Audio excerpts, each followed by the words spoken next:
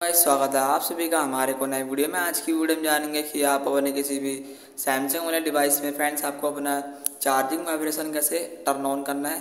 Friend video को शुरू करने से पहले अगर आप हमारे चैनल पर नहीं हैं तो वीडियो को लाइक एंड सब्सक्राइब ज़रूर कर लें। तो गाइस आपको यहाँ पर सिंपली करना क्या है? उसको ऑन करने के लिए चार्जिंग वाइब्रेशन को आपको सेटिंग ओपन कर लेना है।